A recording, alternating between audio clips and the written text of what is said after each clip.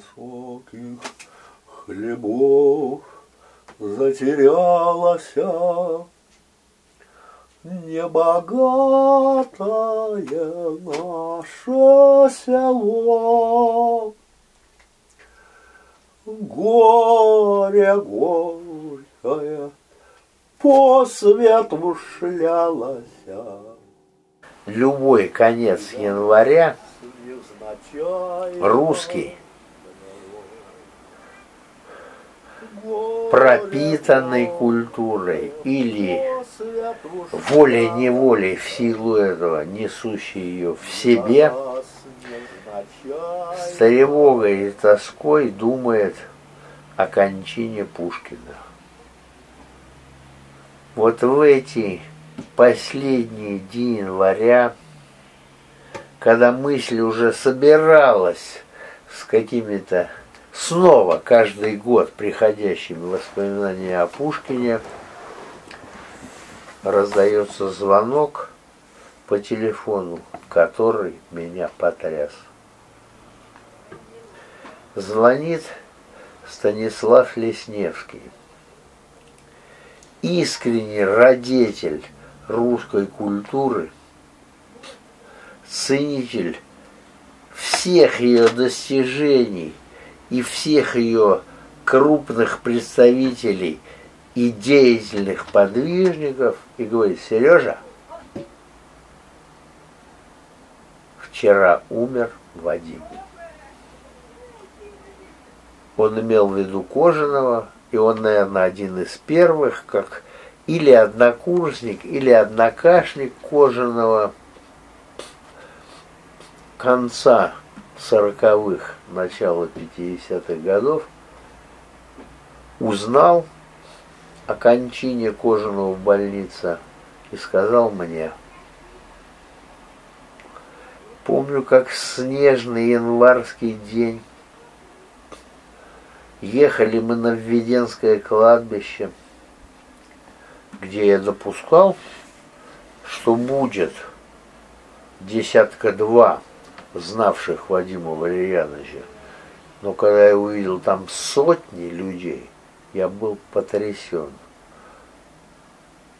Тому, что было вот значением дорогого нам человека для множества людей. Не только академического, не только журналистского, но какого-то широкого читательского и русского круга топтались на заснеженных дорожках вокруг могилы, куда был погребен Вадим. Собирались кучками выпить по 50, по 100 грамм в его память. Пришли не те люди, которые хотели просто выпить, а пришли люди, принесшая свою боль и скорбь по кожаному. После этого ряд людей, особо приближенных к Вадиму Валерьяновичу, пошли к нему на квартиру поминать. Но квартира, хотя бы она была, допустим, и трехкомнатная, но не может вместить же несколько сот человек. Из нескольких сот осталось, допустим, 50. И директор нашего института сказал мне, Сергей Андреевич, берите этих на себя и собирайте их в Имли, невдалеке от квартиры, где жил Кожанов. И там мы Кожаного упоминали. То есть в каком смысле я держал оборону квартиры Кожаного, а тех, кто со всей душой хотел бы его помянуть, но в этой квартире не помещался. Если спросить, чем мне дорог Кожанов, ну скажу сейчас одно, может быть это не самое главное, но то, что приходит мне в голову. Мне Кожанов был дорог тем, что он знал с юности, то, что было дорого мне с, со времени конца войны, из послевоенного детства, наверное, примерно тем же дорого, чем и ему. Вот это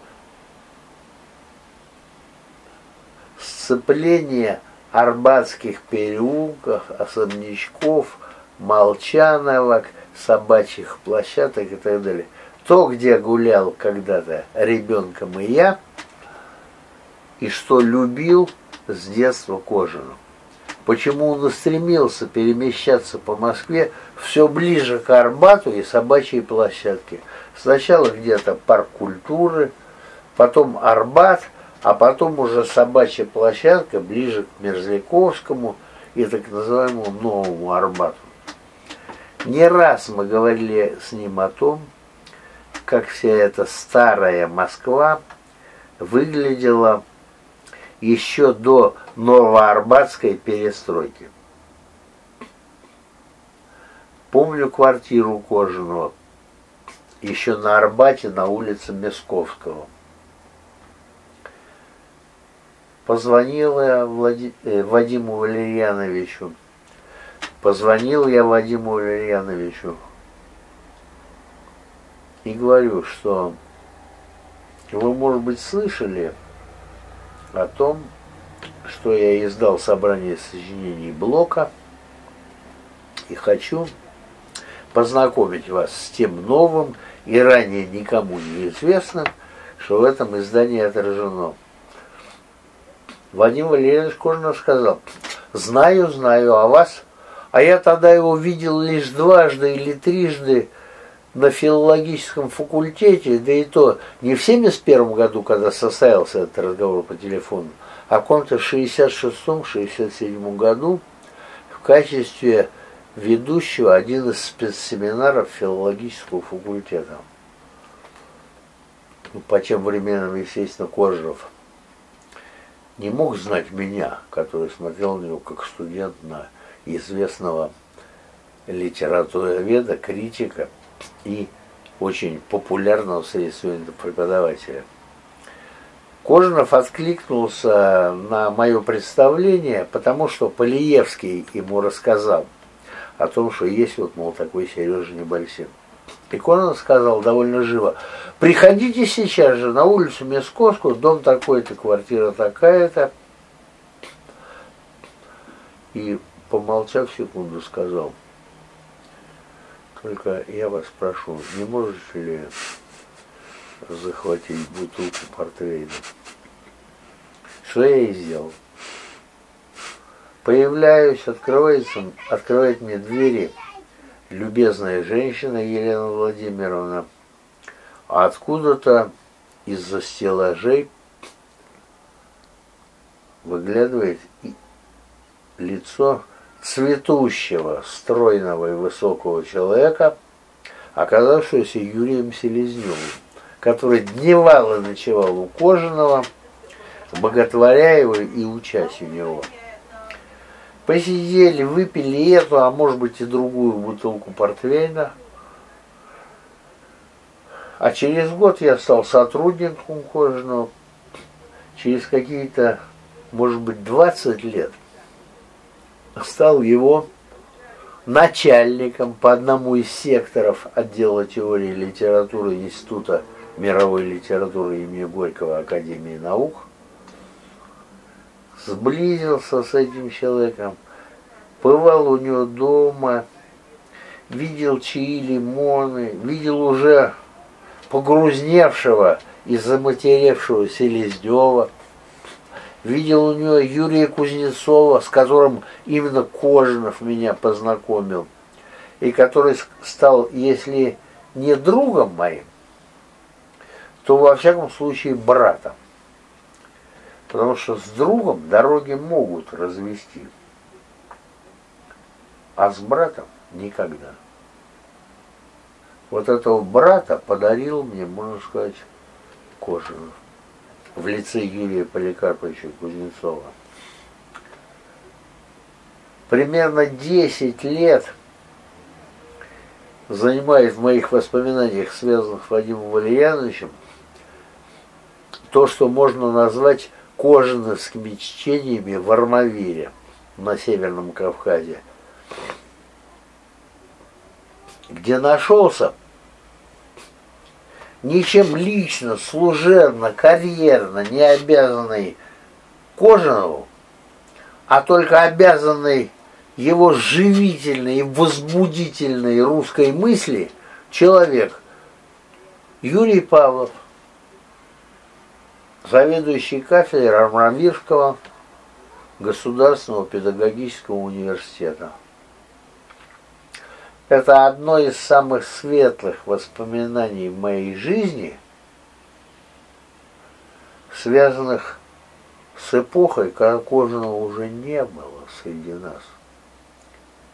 С 2000, если не ошибаюсь, первым, вторым и так далее по нынешние годы. Я был поражен тому, как много людей – живут, дышат и питаются кожановской мыслью, когда его уже нет. Это гораздо больше, чем известность Кожаного в литературных, критических, телевизионных и радио московских кругах. Хотя и их Кожинов сотрясал и приводил в оцепенение, изумление и восторг. Многим казалось, нет выше мыслителя, нет изощреннее критика ненавистной русской темноты, русского невежества – русского тоталитаризма, чем Эйдельман, Сарнов и, допустим, Лотман. А Кожев был не менее изощренным и ярким защитником всего того, что круги, представленные перечисленными мною лицами, считали невежеством – застоем, болотом и вечно обреченным на прозябание и на состояние в качестве задворков Европы, вот на воплощение всего, что в Европе наихудшего. Кожнов говорил, что Россия – цвет Европы, Европа. И когда он писал свою статью и назовет меня всяк сущий в ней язык, он говорил о России как огромном евразийском пространстве, связавшем всех и друга степей, и ныне дикого какого-то туземца далеких азиатских пространств, и золотую сердцевину вот Киевской Руси с ее светом. Ну как не радоваться на то, что среди нас в Москве кипел как-то, клокотал, цвел и одаривал вот плодами этого цветения других такой ум, вроде бы происходивший из Арбата советского начальства, а потом советского же ненавистничества, обращенного на свою собственную страну, что никогда не было свойственно Кожанову. Радостные годы знакомства с Кожаным, с его блестящими выступлениями на конференциях, с его острейшими полемиками в литературной газете с тем же Эйдельманом или Сарновым, с его яркими статьями в нашей современнике, в нашем современнике, с окоженное с его разделенными со мною перекурами, в предбаннике так называемого Института мировой литературы, с анекдотами, которым был переполнены каждую нашу встречу излагал какие-то новые, с его рассуждениями и о русской литературе, от Пушкина, Лермонова и Тютчева до Шолохова, и даже о русской экономике, о торговле никелем, о том, как нас обманывают наши магнаты уже нового времени, 90-х годов. Всеми же вот опять же упомяну их.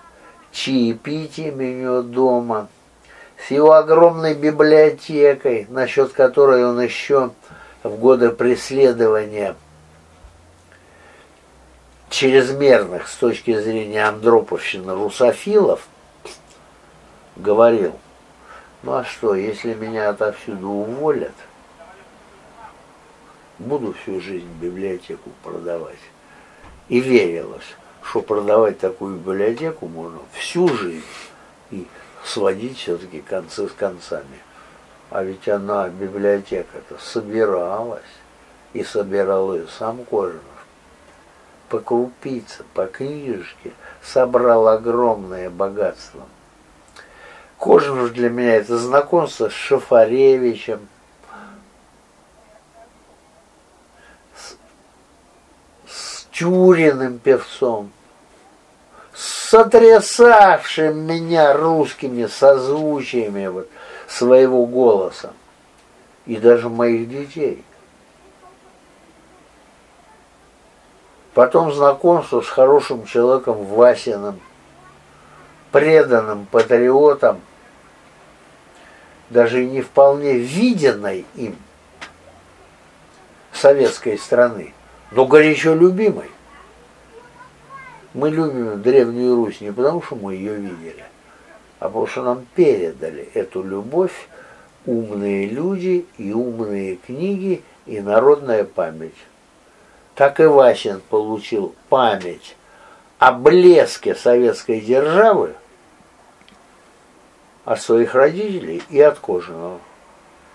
Я за знакомство с Васиным благодарен судьбе и благодарен Вадиму Валерьяновичу. Ну и всегда с доброй улыбкой вспоминаю его, которому было тяжело в последние годы. Он, конечно, как я думаю, в сорок пятом году, будучи, допустим, 15-летним мальчиком, не того будущего, желал своей стране, ждал от ее деяний, которые он увидел в 91-м и которые он видел в середине 90-х. Наверное, мучился он, вспоминая себя 15-летнего подростка 45 -го года, когда ему было уже 70. Было ему тяжело но держался он до конца, что и является нашим лозунгом. Мы не можем определить будущее России, но мы знаем блеск и содержательность ее прошлого, и во всяком случае мы должны держаться до конца. Что и делал Кожинов, в этом смысле являясь моим учителем. Обычно говорят, что хорошего человека можно поминать и с улыбкой. И, конечно, оцепенение, обескураженность и тяжкая скорбь тех долгих минут, что мы простояли в снегу, толпясь на немецком кладбище, это сошло. И за столом звучали скорбные речи и воспоминания о чем-то дорогом, связанном с Кожановым, что было светлым. Значит, звучали светлые воспоминания. Поэтому на лицах людей появлялась и улыбка, и смех,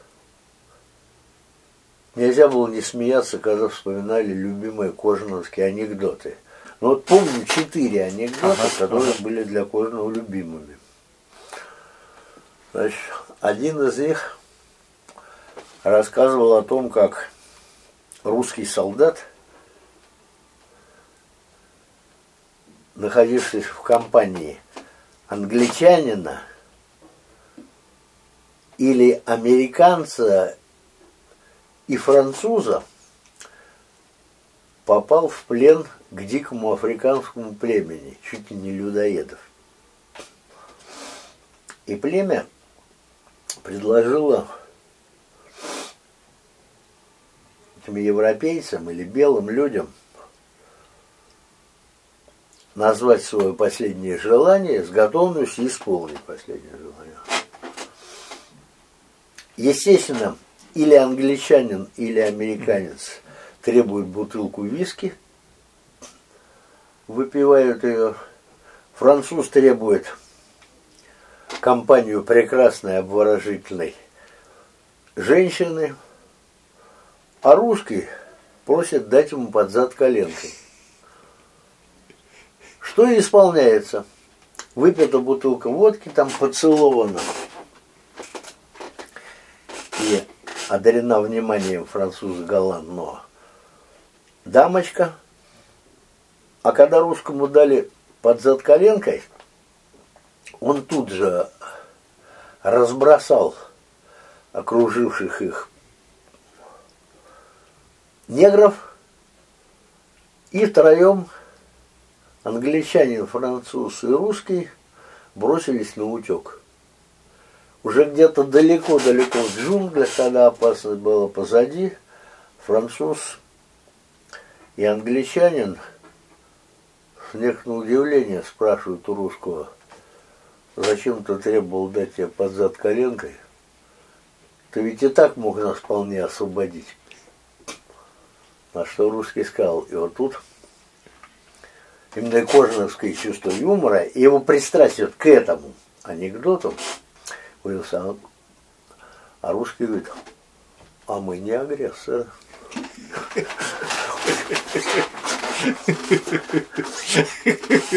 Второй анекдот – это о том, как ехал глухими русскими полями и лесами поезд. И внезапно сошел с путей и, не теряя скорости, извиваясь как-то и громыхая, довольно долгое время бежал прямо по лесу или по лугу. Наконец, какую-то чущобу уперся и стал. Из поезда выскакивают люди, бросаются к машинисту и с негодованием или изумлением спрашивают, что произошло. Машинист говорит, да вот знаете, говорит, едем значит, железнодорожным путем, вдруг вижу, перед поездом перебегает дорогу еврей. Русские приходят в возмущение, что машинист увел поезд с путей. И кричат, да ты что, говорит, и ты растерялся, давить надо было несчастную жена. На что машинист говорит, давить. Так хоть сперва догнать надо его было. Это второй кожанский анекдот. Третий – Хотя, может быть, их в целом было четыре, но сейчас вспоминаю третий. Ага. Состоит в том, что... А, четвертый тоже помню. Третий состоит в том, что художник, конечно, француз, приглашает к себе на сеанс натуру. И натура это в обнаженном виде позирует известное время перед художником а после она облачается свое обычное одеяние, садятся они за стол, пьют вино и едят фрукты. В это время раздается, допустим, звонок в дверь.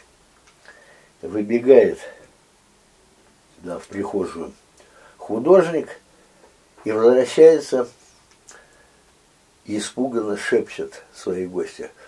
Срочно разденься, жена пришла. А последний анекдот, четвертый дам, рассказывает о том, как женщине приснился странный и жуткий сон. Она идет в одиночестве по лесу и, обернувшись однажды, замечает, что за нею следует мужчина. Женщина ускоряет шаги, и мужчина ускоряет шаги. Женщина бежит, и мужчина бежит за ней. Конечном счете она теряет всякие силы, прижимается к какому-то дереву, а мужчина приближается к ней. И она говорит своему преследователю, что же вы хотите со мной сделать? А тот ей говорит, извините, мадам, это ваш сон. Анекдоты все эти были рассказаны в отсутствии Кожаного, в знак памяти о нем. То было и грустно, и весело. И даже что-то вспоминая и не оглашая воспоминаний, человек мог там улыбнуться. Вспомнил какую-то встречу с Кожаным, которая не была предметом его рассказа данного сборища. Все равно это была улыбка. И я не знаю, почему мысля такая пришла, допустим, об этой песне. Но скажу одно, что можно на поминках и спеть, конечно. Но ты не будешь петь там, как вставала я ранешенька или калинка-калинка моя, вот, залихватскую удалую песню. И то, может, если она была любимая Кожаного, ее можно было бы исполнить. А грустную это всегда можно. Вот эта грустная песня, о которой Кожанов не раз говорил, что настоящая проверка писателя, то есть книжного человека, это то, стало ли хотя бы одно его произведение народной песней. Вот о Некрасове, можно сказать, стало – и это показатель его качества. Есть «Ой, полным-полна коробушка», ее пел весь народ, и меж высоких хлебов затерялся, тоже исполнялась всем народом, повсеместно, во всех концах России. Я слышал это. И не только любителями книжной литературы, а простонародьем нашим. Значит, вот Некрасов попал в какую-то сердцевину русской души. Что Кожанов и признавал. А я помню, что он одним из первых заговорил о таком достоинстве Некрасова, как великолепное, идущее, казалось бы, в разрез с его жизнью, с его, возможно, атеизмом, внимание к русской церкви и ее обстановке. Мало кто, как Некрасов, так благоговейно и подлинно описал, говорил Кожнов, именно русский храм, где молятся простонародье. Но есть у Некрасова еще и стихи «Влас», который любил Достоевский. Там тоже речь идет о грешнике, собирающем на храм.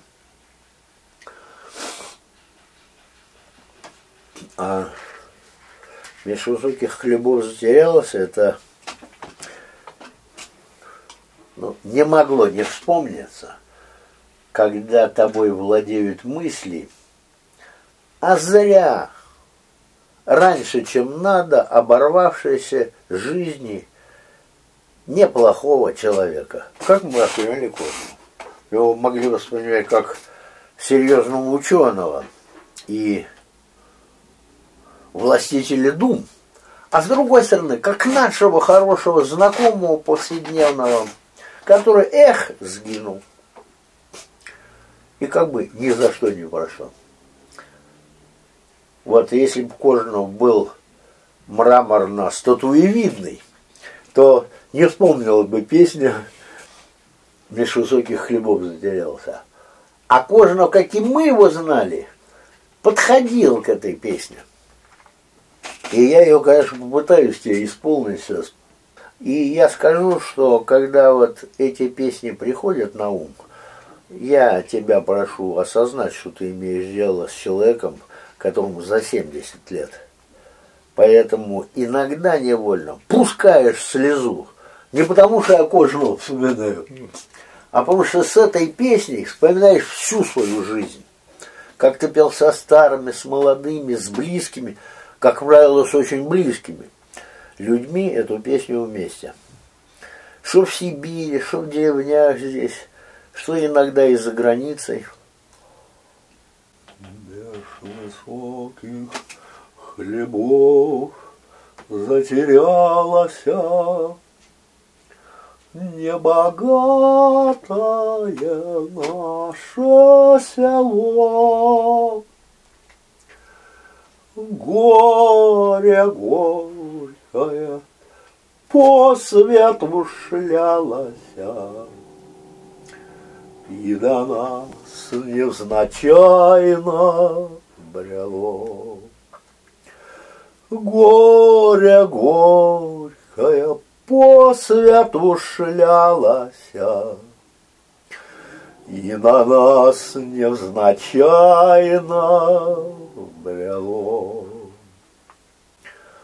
Ой, беда, приключилась страшная, Мы такой не знавали вовек, Как у нас голова бесшабашная.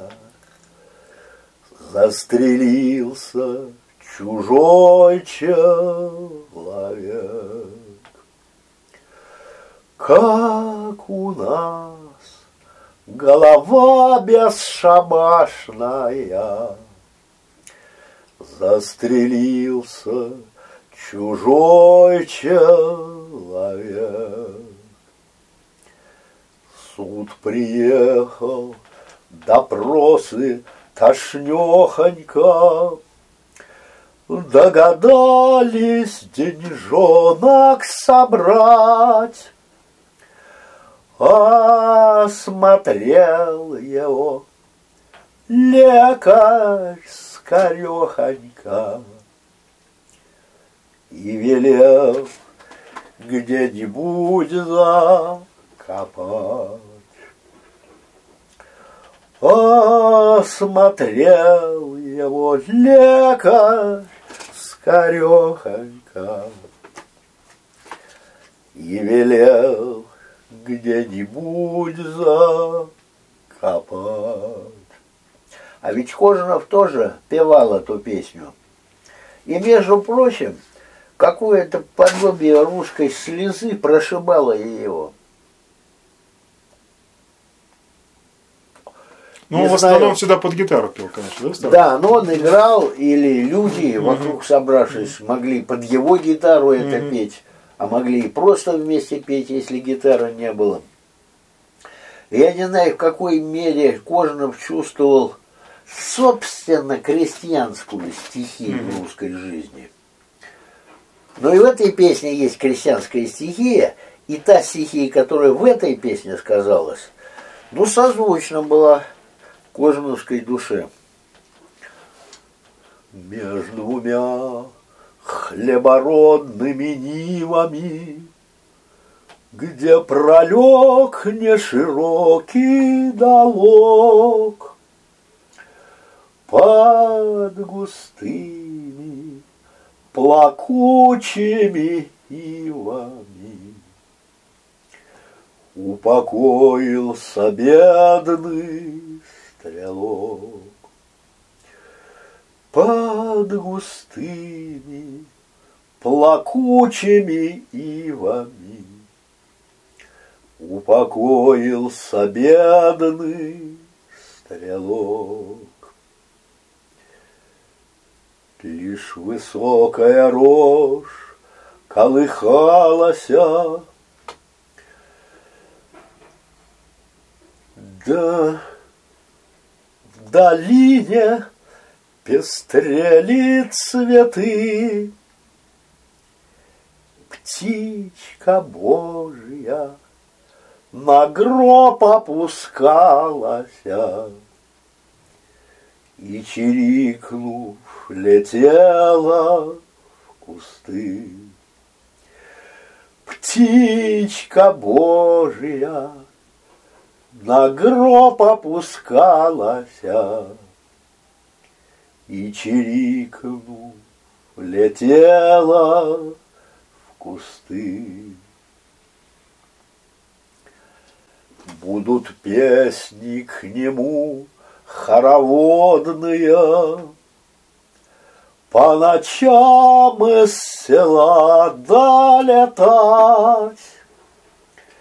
Будут нивы ему хлебородные, Безгреховные сны навевать. Будут дивы ему хлебородные, Безгреховные сны навевать.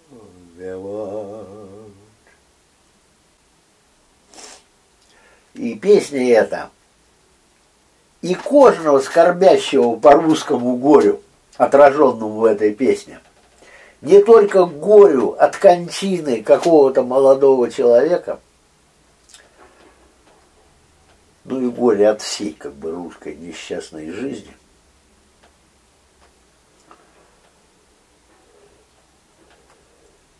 И отражает эта песня и наше горе по поводу того, что Кожнов нас покинул. Или отражала тогда, когда мы это пели. Да, тогда было немного уже людей. Была Елена Владимировна, был Гуминский, еще двое-трое, в общем, компания вся уже разошлась.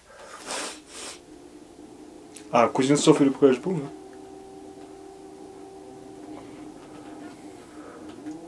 Нет.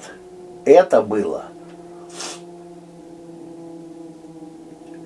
Это было на тех поминках по Кожанову, когда Кузнецова с нами не было. Может быть, его уже не было и вообще с нами. А, то есть это не, То есть не совсем сразу. Это, да? да, это не в те первые То поминки. есть какая-то как- годовщина какая-то была. да? Это одна из годовщин, но не кончины Кожаного. Понял, понял, Одна понял. из годовщин его рождения была. Это Ага. было лето. Мы были в 5 июле июля. месяце Мгм. у Елены Владимировны дома. Мгм.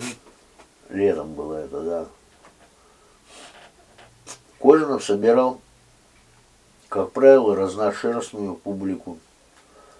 То есть были люди и того крыла, к которому он относился непримиримо русской интеллигенции, и западники, и либералы, и демократы находили от чего с доброй улыбкой Кожного вспомнить. Вот ты же помнишь, что там слово памяти произнесил и Анинский по случаю Кожновской кончины. И Даже Рейн. И Рейн. Ну и близкие Кожаного. Там, каких бы они убеждений не держались, это могли быть его родные, там вот Пузицкие, например. Так я и, например, не могу сказать, каких убеждений держатся Пузицкие, вот, которых я видел. Но вижу, что это наши русские люди, Кожанов их просто родственник. Они поминают родного человека, а не человека каких-то убеждений.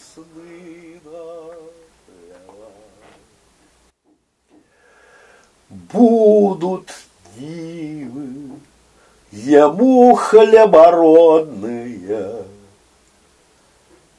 Безгреховные сны навевать.